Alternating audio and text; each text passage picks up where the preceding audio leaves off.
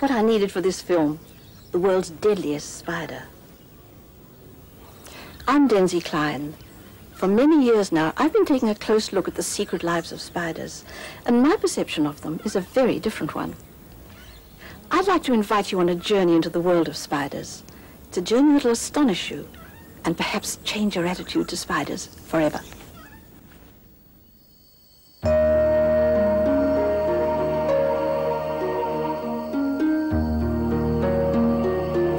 While spiders themselves are usually disliked, their webs can often inspire us with their beauty, and the weaving of an orb web is the ultimate in spider craftsmanship. Long before the dinosaurs, spiders were already using silk to catch their prey, and it's from their first random snares that the classic orb web evolved. Start a new web, the spider lets out a strand of silk to be carried by air currents to a point of attachment.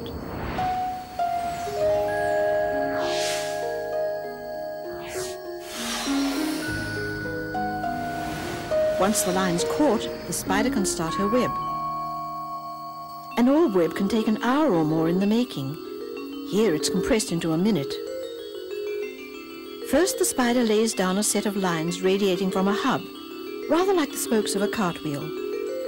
Next, a wide spiral scaffolding holds those radial lines in place. The spider moves inwards now, laying down a much tighter spiral. She's using the sticky silk that'll glue her victims to the web. The scaffolding, no longer needed, is eaten by the spider as she goes.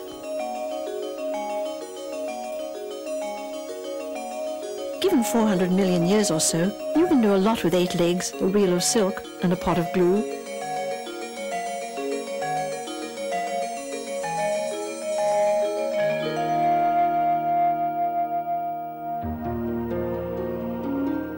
The webs of different kinds of spider can vary greatly, and each carries the unmistakable signature of its maker.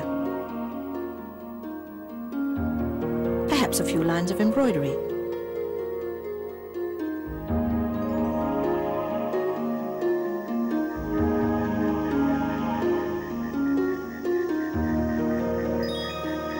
There's one spider that places more than embroidery in her web, and she uses her silk in a quite ingenious way. She's found in Australia, and her story begins at night on the leaf litter of the forest floor. The spider attaches a leaf to the silk thread that brought her safely down to the ground. Like a worker on a construction site, she hauls herself and the leaf up into the air. What can a web building spider want with a simple leaf?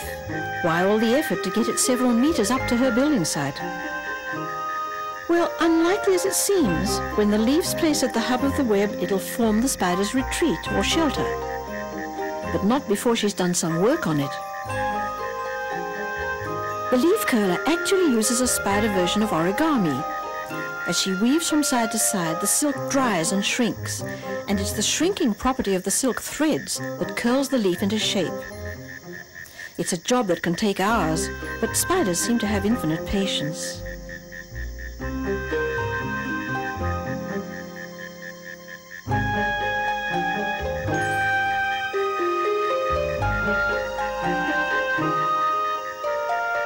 Now with her shelter completed, the spider can turn her attention to the getting of food.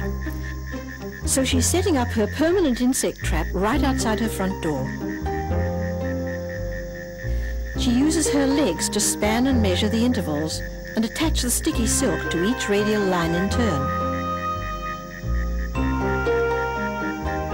Web spiders have extremely poor sight. Amazingly, it was by touch alone that the spider found her leaf and changed its shape. It's by touch alone now that she weaves the intricate fabric of her web.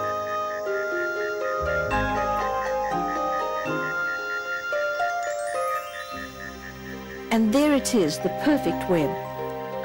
A work of art to us, a deadly trap for insects, and for the spider, its only means of survival.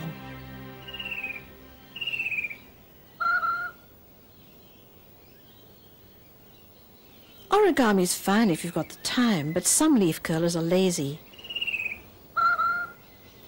So So what's wrong with recycling an empty snail shell?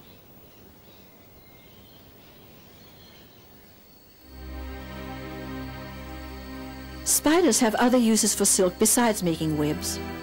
This enormous ground-dwelling spider uses her unusually long spinnerets to weave a retreat. Spiders have a number of silk glands in their abdomen, each producing a different type of silk. The spider simply controls which silk comes out, depending on the purpose.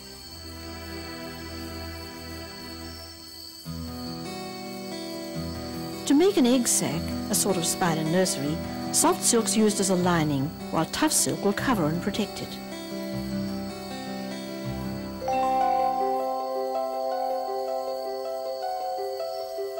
A silk thread can be used as a safety line if the spider misses its mark. Silk's also used for communication between the sexes. It can turn out to be a male's lifeline, as we'll see later.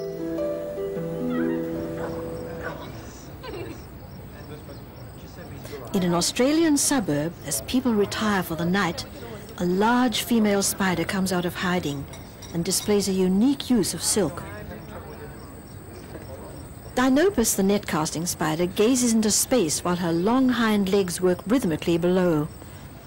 She's weaving the first stage of an ingenious catching device.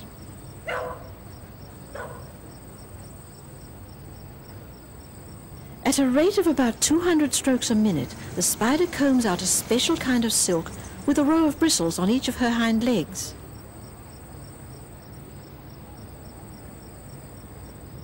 The combing action can be seen here in slow motion.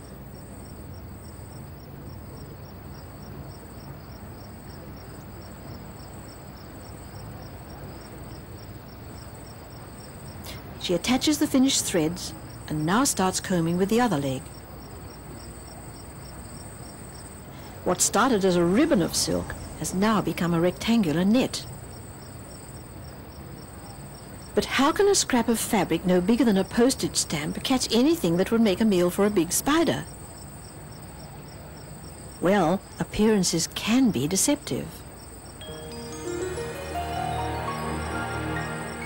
It's the incredible elasticity of the tiny silk net that makes it an efficient catching device. The spider's ambushing spot is directly above an insect highway. Her night vision is 12 times more acute than ours, and she'll detect the slightest movement.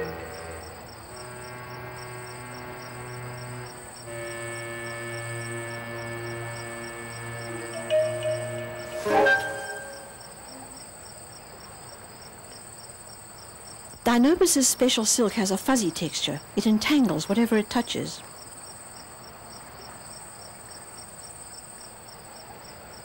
But this large ant has a ferocious sting, so the spider must immobilize it further.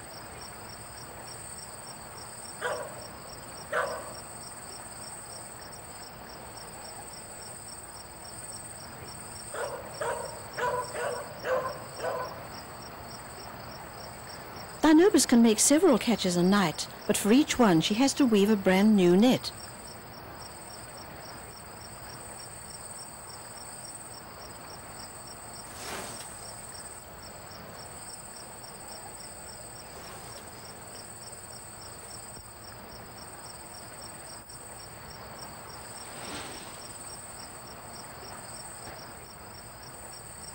Not all spiders hang about in the air to catch their prey. The earliest spiders lived on the ground and used ambushing techniques, as many of their descendants do today. Down under my feet, there's a whole underground world of burrows and holes and hideaways. Among the inhabitants are the trapdoor spiders, best known for their skill at burrowing. The burrows are so well camouflaged, they're remarkably hard to see, unless you know where to look. Most spiders live for only a season or so, but the spider I'm looking for could have lived safe and sound in its burrow for more than 20 years. Somewhere on this little patch of ground there's a secret door, a door with the best kind of security. It's virtually invisible. It's the hinged lid of a trapdoor spider. Let's see if she's home. At this time of the day, there's no risk of the spider jumping out. It's down at the bottom, probably wondering who's lifted the lid on its hiding place. Like all good security doors, the lid fits tightly enough to keep the spider's enemies out. A trapdoor spider's burrow can be more than a metre deep. It's lined with silk, perhaps for the spider's comfort. At night, the spider can detect the vibrations of passing insects with its feet, sensing with incredible accuracy whether a passerby is a potential meal.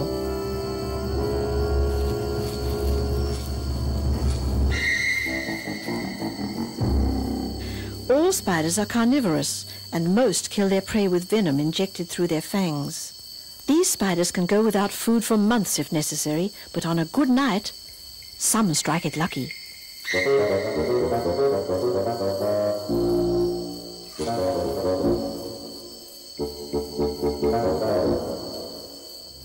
Trapdoor spiders and their close relatives are distinguished by large, downward striking fangs. The venom's produced as droplets at the tip of the fangs and injected when the spider strikes. But it's the high toxicity of its venom that's made the Sydney funnel web spider the deadliest spider in the world.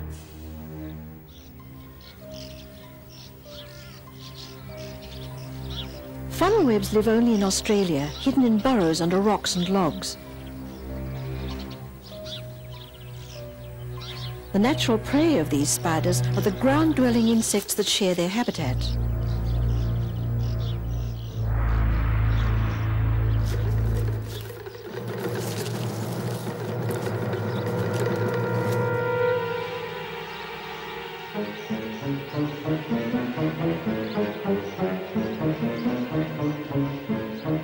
The venom of the male Sydney funnelweb is five times more toxic than the female's.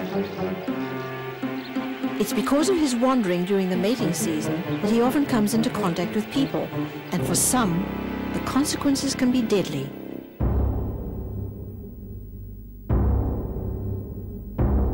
Many people have died from the bite of this spider. It's taken decades of research to find an anti-venom and reduce the number of fatalities.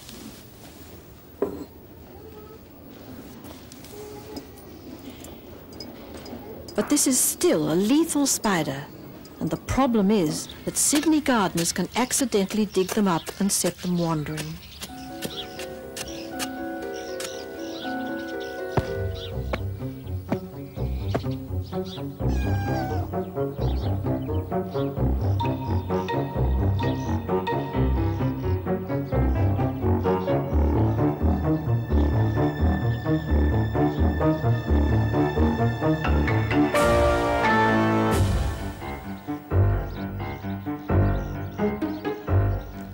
May look like a dangerous game, but the cat's not actually at risk. Among backboned animals, the funnel web's venom is lethal only to the primate group, which is bad luck for people.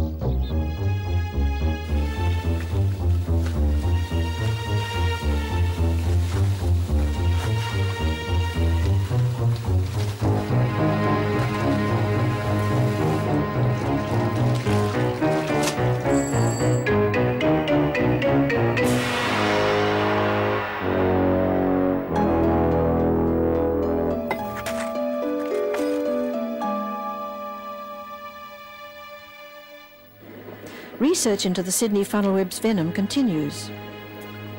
It's unfortunate that by encroaching on the spider's habitat, we have put ourselves at risk. There's another dangerous spider common around Australian homes, a subspecies of the notorious black widow of America. She's the redback, seen here with her egg sac. The redback's permanent insect trap is made up of extremely strong vertical threads, beaded at the base with a contact adhesive. It's a minefield, a maze with no way out but death, and insects enter at their peril. This ant seems to have some misgivings. She's cleaning her antennae, the sense organs that warn her of danger. Perhaps she's aware of the assassin waiting above her.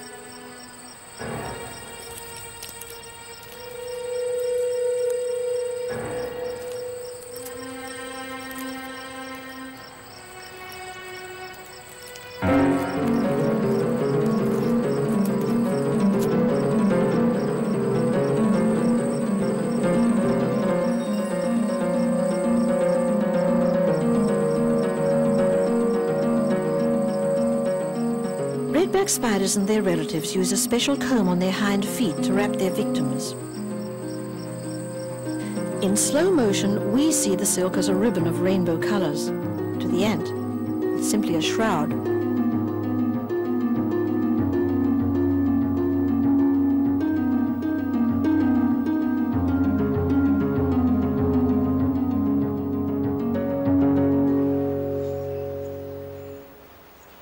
The course of evolution, when insects developed flight, the spiders followed them upwards, not with wings, but with all kinds of aerial traps and snares.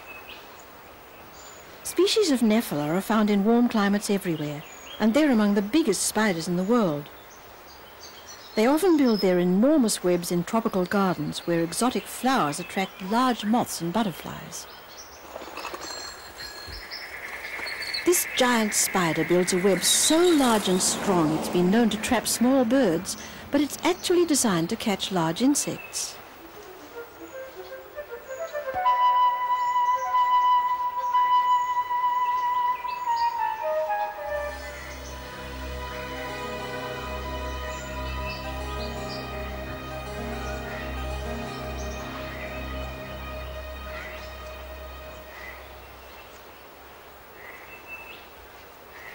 The spider has immobilized the butterfly's wings, but they'll form no part of her meal.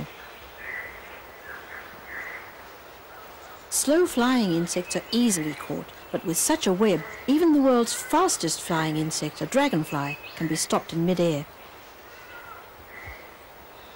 Spider silk may look fragile, but theoretically, if it were big enough, this web could stop an aeroplane in flight. There's something else unique about Nephila's web.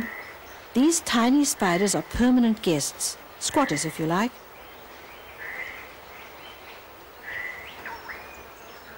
As a rule, anything moving about in a spider's web is likely to get snapped up, but this is a special case. The little spiders feed fearlessly on the crumbs of Nephila's meals. It's an association between two species known as commensalism, which simply means feeding at the same table. The commensals clear the web of tiny, unwanted insects.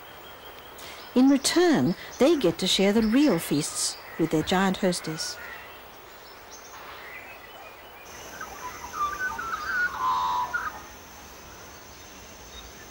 Many forest spiders don't make webs or nets to catch their prey. They depend more on speed.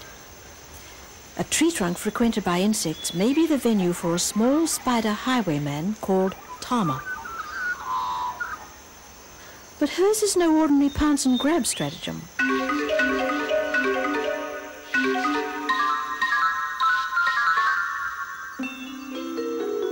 By slowing down the action, we can see how she contains the ant between her two tail-like spinnerets.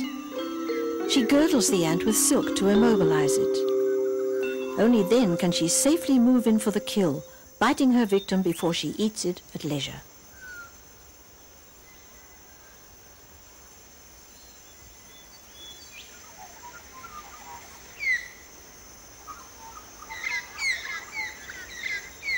Ambushing spot is also the retreat where she lies up by day, protected by her low profile and camouflage colors.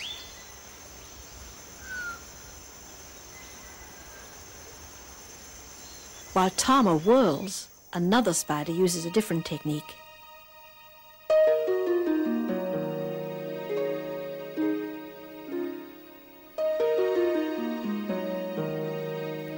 Jumping spiders cross the open spaces of their small world by leaping, launching themselves at high speed with their front legs. If a spider lands short of its mark, it'll swing safely back to its starting point.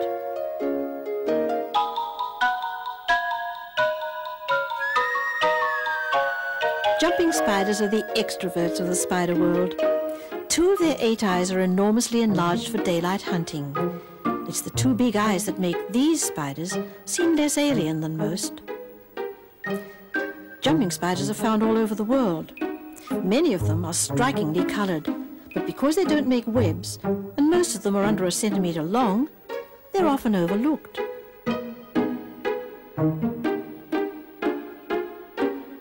Jumping spiders seek their insect prey on plants. A sunbathing fly can be a real challenge.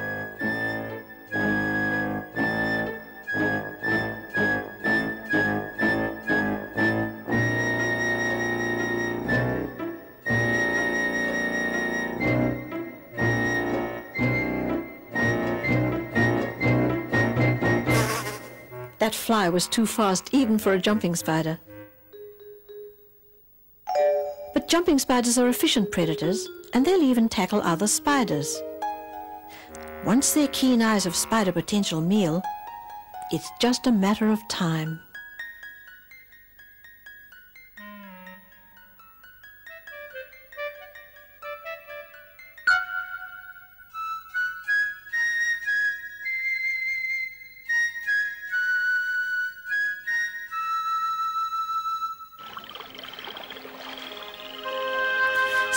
Spiders have exploited all the surfaces of the earth except the deep oceans.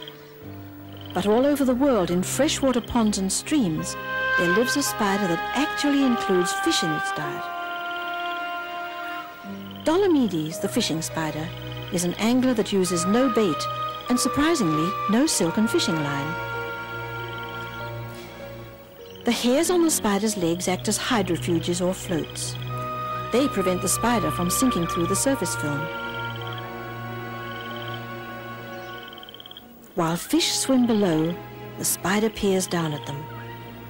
For him, one small fish is as good as a feast. When the spider dives, it's the hairs on his legs, now covered with air bubbles, that bring him back to the surface. So he dries his legs carefully between dives. The little fishes see the spider's distorted shape above them, but show no fear. And that's their undoing.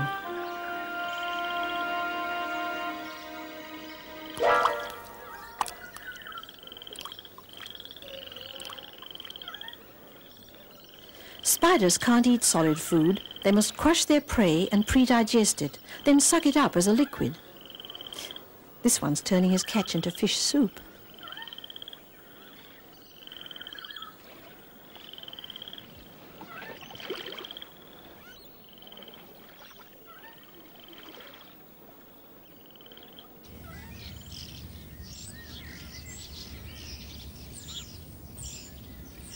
Flowers attract all kinds of flying insects, so it's not surprising there are spiders around to prey on them. What is surprising is the kind of trickery used by some of these masters of deception.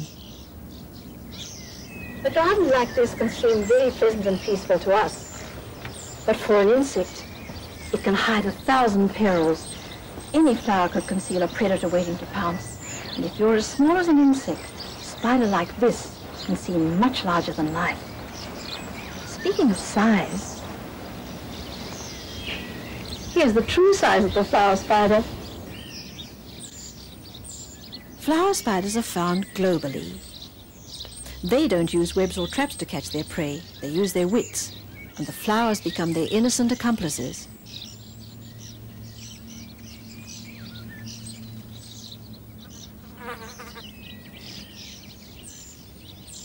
Insects that visit flowers by day have keen sight for color and movement. So the spider must blend with the color of the flower and sit absolutely still.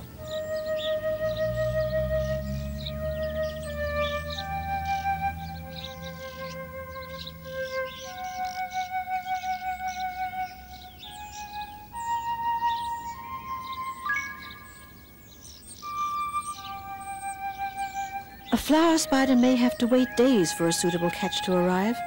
And even then, it won't make its move until the victim's at the precise striking distance.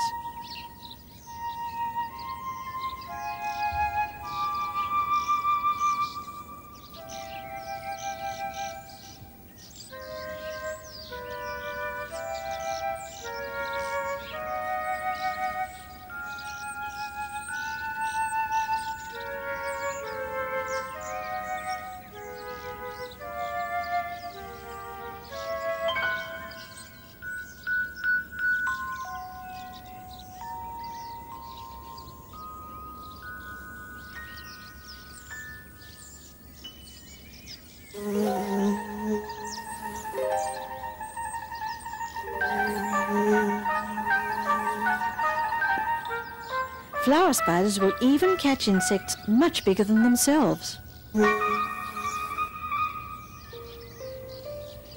Daisy flowers are perfect ambush sites. The tiny yellow florets provide a feast of nectar. They invite prolonged visits from many kinds of insect or potential victims for a lurking predator.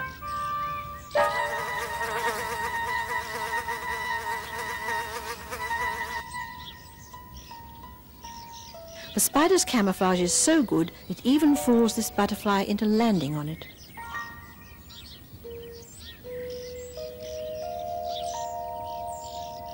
For many spiders, camouflage is effective not just for attack, but as a defense against keen-eyed predators.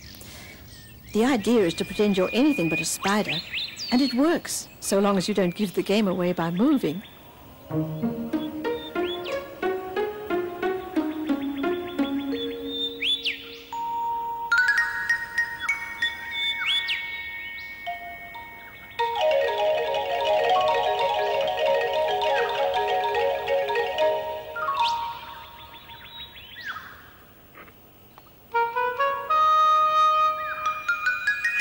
Any lump or bump on a tree may turn out to be a spider. This one looks like a bit of debris until it walks away. We ourselves can be as unaware of the spider's amazing deception as their predators are. Believe it or not, there's a spider in this picture.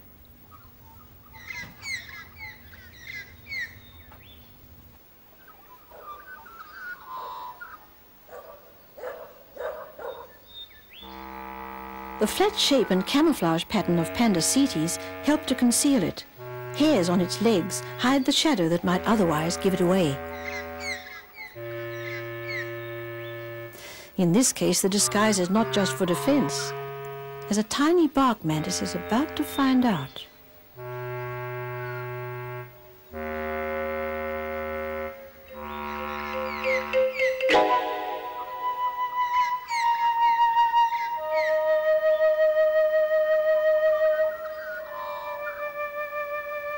Some spiders do more than look like their surroundings. They actually look like their prey.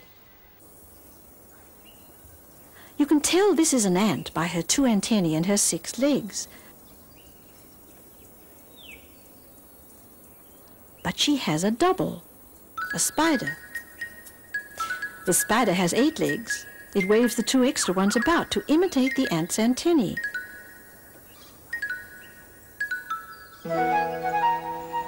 There are many different species of ant mimicking spiders in Australia, and each one specifically mimics the ant it preys on.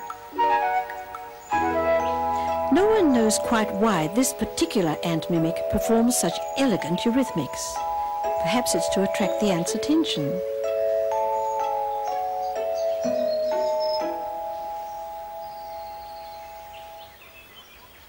This spider resembles in almost every detail the tree-dwelling weaver ants of tropical Australia.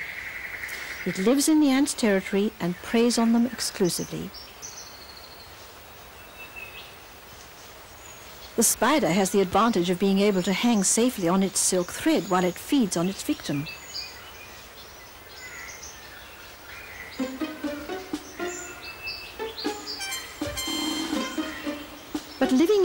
Territory with the numbers stacked against you is risky. These ants are ferocious hunters. The spider's wary of the ants patrolling above. When things get too hot for it, the spider drops on a safety line. It rarely happens, but this time the hunter becomes the hunted, and the spider's the loser.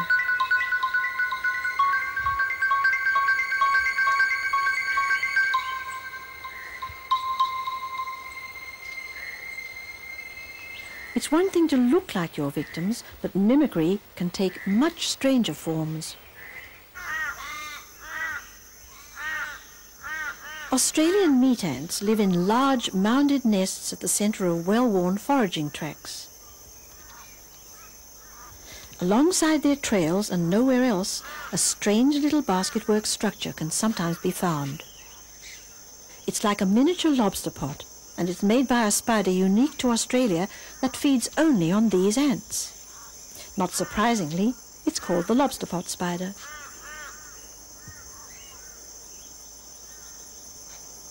Meat ants forage for food on the vegetation around their nests and trails. Sooner or later, one of the foraging ants comes across a lobster pot and investigates.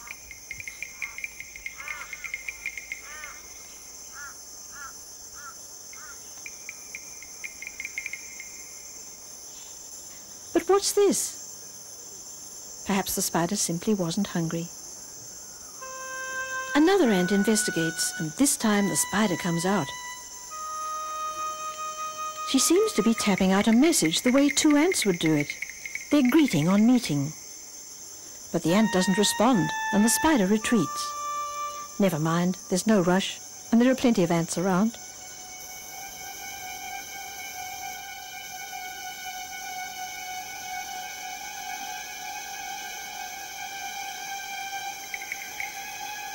Again, the spider taps out her tactile message and lures the ant into her parlor.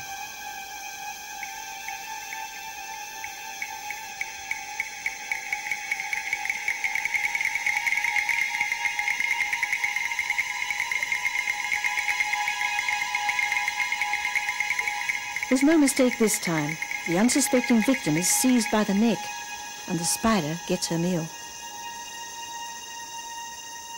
The question is, has this spider cracked the code of ant communication?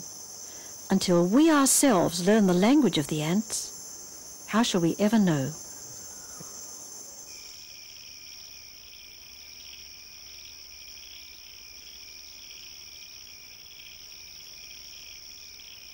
Of all the spiders that hunt by night, the Australian magnificent spider wins the prize for deceit. She catches her prey by an astonishing confidence trick. The magnificent spider is a renegade orb weaver. What she's combing from her spinnerets is all that's left of the classic web of her ancestors.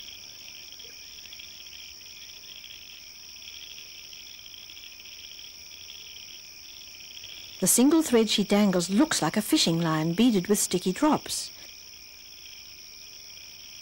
but the chances of catching a flying insect with it seem pretty remote. What's more, this spider is a gourmet, feeding only on male moths of a particular kind.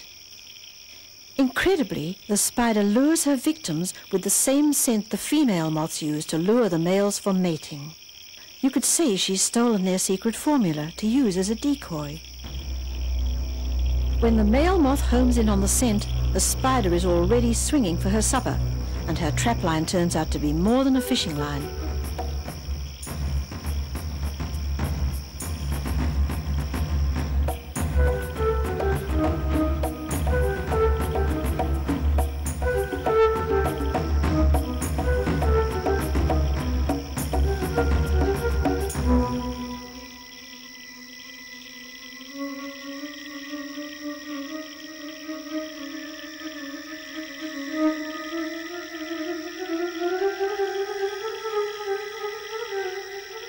So the spider gets her supper, but the moth ends up in the arms of a very different female from the one he set out to meet.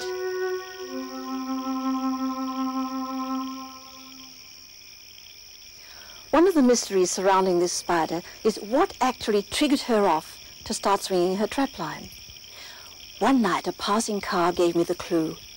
It was sound.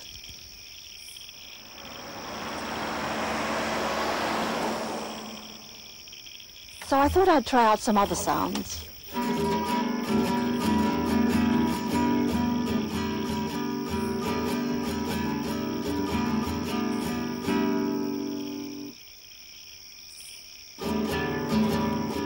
Of course, what the spider really responds to is the vibration of the approaching moth's wings.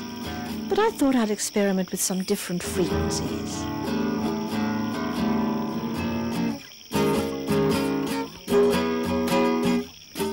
Seemed to work all right. Now I'll just try humming.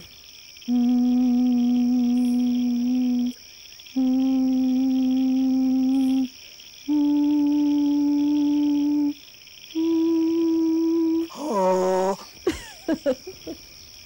I don't think she liked that very much. She's folded up her trap line and eaten it. The sex life of spiders is truly remarkable. Before a male goes in search of a female, he has certain preparations to make. On a special thread called a sperm web, this large-jawed spider is depositing a droplet of white sperm fluid.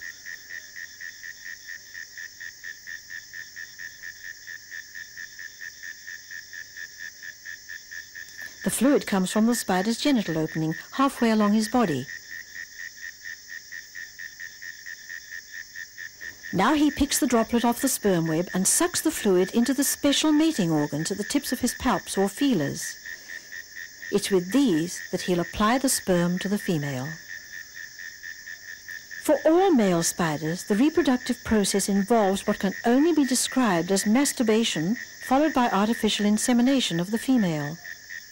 But directly after sperm induction come the rituals of courtship that are vital to a successful mating.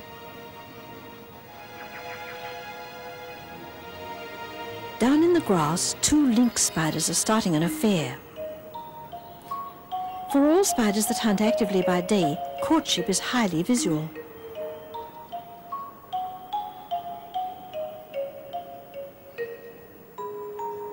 The female lynx spider eyes off her suitor. They say some females like hairy legs, but eight of them? The female won't respond until he's identified himself with the correct signals as one of her own kind. The male uses his conspicuous black palps to indicate his intention to mate.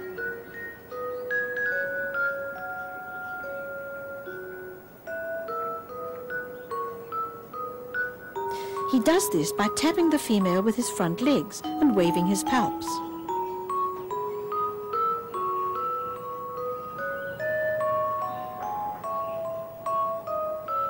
Seems to lead him on and then change her mind. Maybe it was his legs.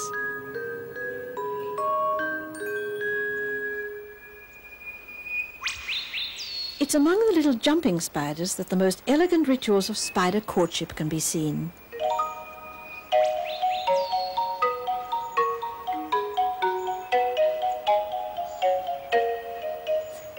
Female from the tropics can probably recognize her potential mate at a distance by his black face and white side whiskers. But he still has to establish his identity, not with his palps this time, but with his distinctive black legs.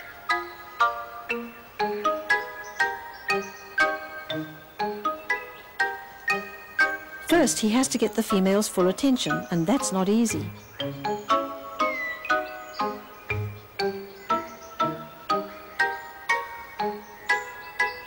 Persistent and follows her. The male makes his approach with precise ritualized movements of his front legs, like sending a semaphore message.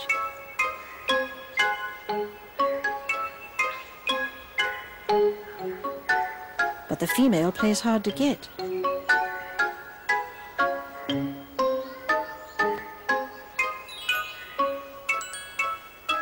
The rituals of courtship and mating are unique to each species.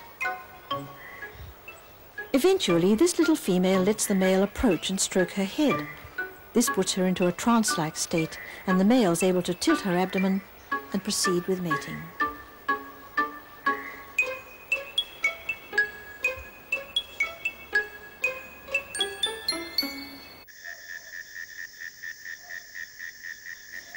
Spiders are highly sensitive to touch and vibration, and communication between males and females is usually tactile.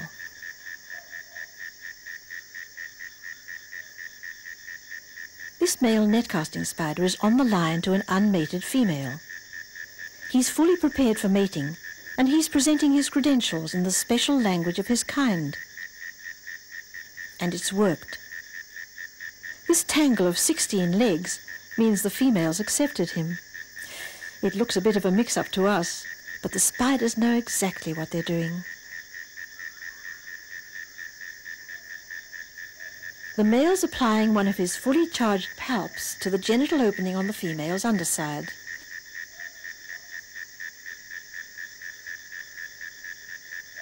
Part of his palp swells like a balloon as he pumps the sperm fluid into her under pressure. Meanwhile, the female simply gazes into space.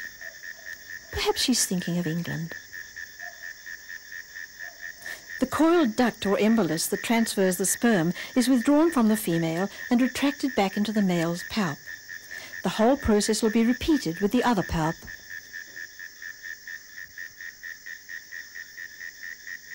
Female spiders need to mate once only.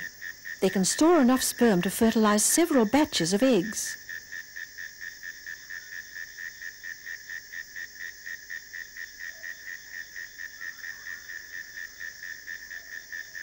Males can mate several times, and this one's cleaning his palps in preparation for his next mating.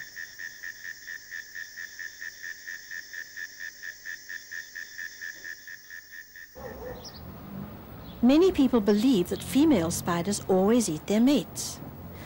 When the sexes are about the same size, there's little risk. But the female St. Andrew's cross spider is a giant compared with her mate.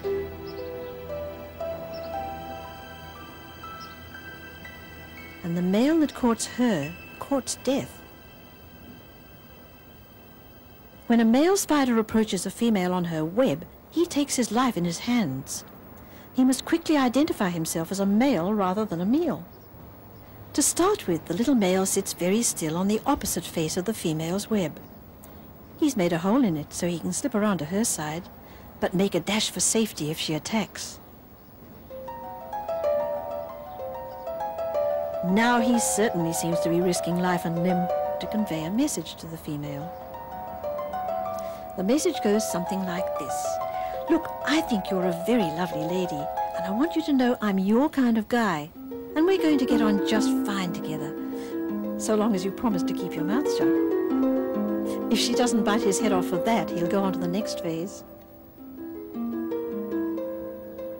His object now is to lure her onto more neutral ground, the outskirts of the web. He plucks at the silk thread, playing a tactile serenade that she hears with her feet. She comes out to him. And they mate. But there's something sinister going on behind the male's back. Why is she pulling out that ribbon of silk? It looks as though he might be in trouble. Senses danger and leaps away, but not too far.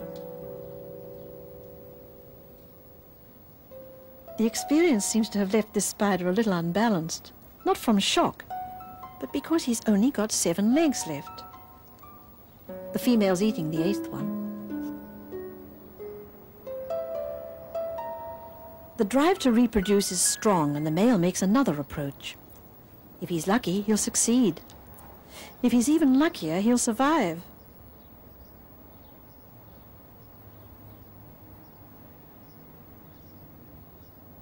One thing is certain, a male St. Andrew's cross spider is unlikely to die of old age.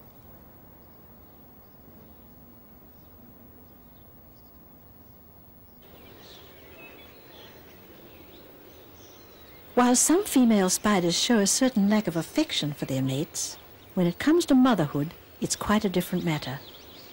Take wolf spiders. It's not easy to look in on their family life. They tend to shut the door in your face.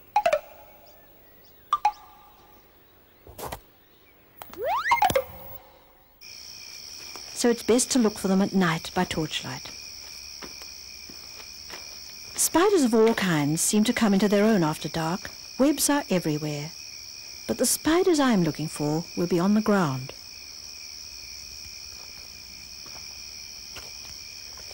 The best way to spot these tiny hunters of the night is to hold the torch right up close to your eyes and shine it on the ground. You could see something quite intriguing. Like their namesakes, wolf spiders are active hunters that run down their prey. In the torchlight, the spider's eyes light up like lamps.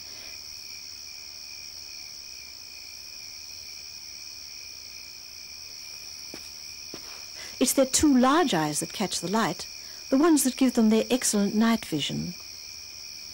When you get as close as this, you can really see how big those eyes are. But there's something even more remarkable about wolf spiders. The females show a degree of maternal care that you simply wouldn't expect among spiders. Like all spiders, the female encloses her eggs in an egg sac, a cradle lined with the softest silk. The best way for this active spider to keep an eye on her future offspring is to drag them behind her wherever she goes, rather like pushing a pram in reverse. But few spiders risk putting all their eggs in one basket. A magnificent spider has finished the first stage of her egg sac. Now she's laying her eggs, pouring them out like water from a tap. She can lay several thousand eggs over a single season. Now she has hours of weaving ahead of her before the eggs will be safely enclosed. Every species of spider makes a different kind of egg sac. The netcaster rotates hers as she weaves.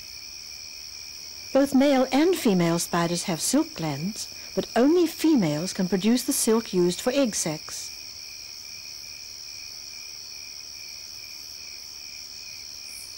This female seems to have a marvelous eye for symmetry and yet she sees nothing of what she's doing. Her only guide is her sense of touch. As she progresses, she uses several different kinds of silk.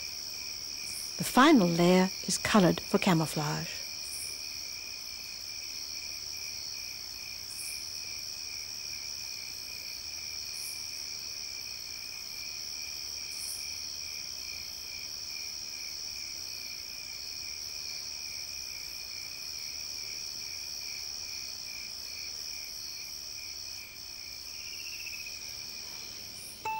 Like a jewel box, a spider's egg sac is opened to reveal emerald green spiderlings.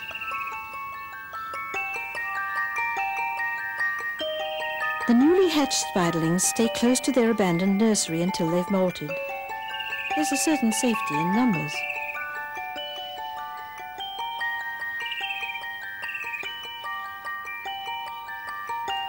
Young spiders have spent the first few weeks of their life cushioned against the elements and safe from predators. Very soon now, they'll be taking their chance with both.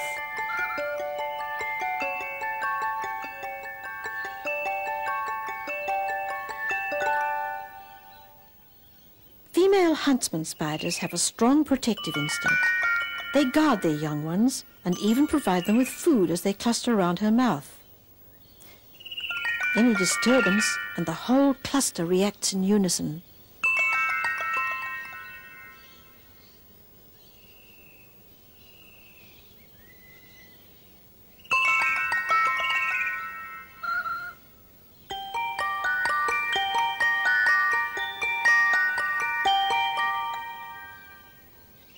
The wolf spider we saw trundling her egg sac behind her carries maternal care even further. It's she who breaks open the egg sac to let the hatchlings out. And now, wherever she goes, her spiderlings ride piggyback, clinging to special hairs on her abdomen.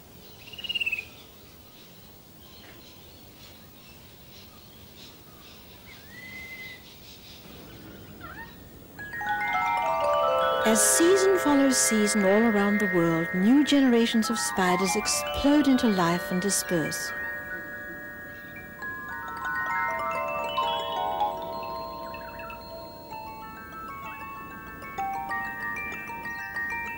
Many will span the spaces of the earth using silken bridges.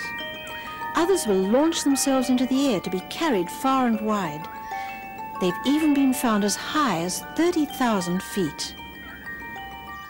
Most of these young spiders will live only briefly, preyed on by birds, insects, and even their own kind.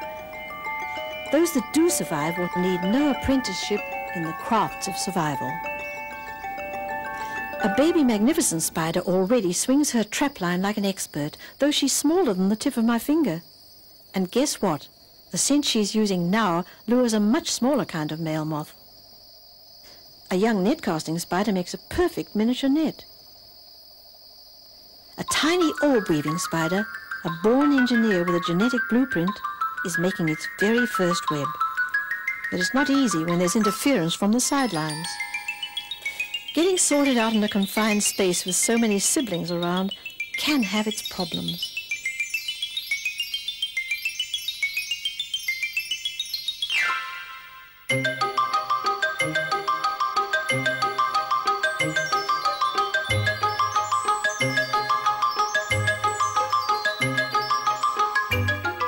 But soon it all goes like clockwork.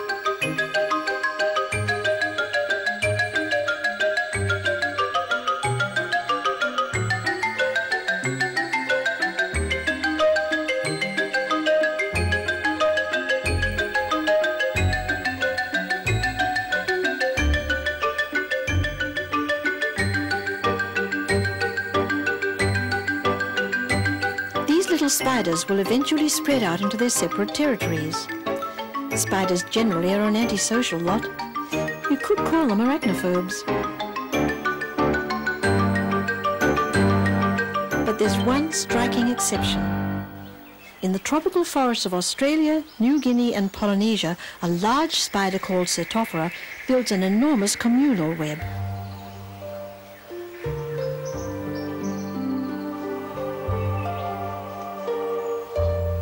These communities may contain many hundreds of spiders, each with its own closely defended territory and its own orb web. But the webs are densely linked together to form what looks like a giant mist net.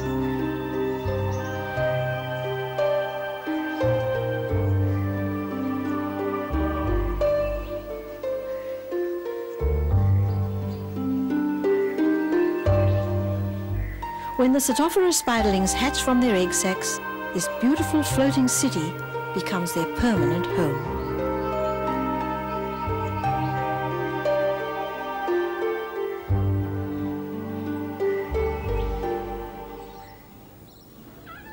Well, that's the world of spiders. You know, it always surprises me that spiders are so universally feared when out of 40,000 or so different kinds of spider in the world, fewer than a dozen are potentially dangerous to humans.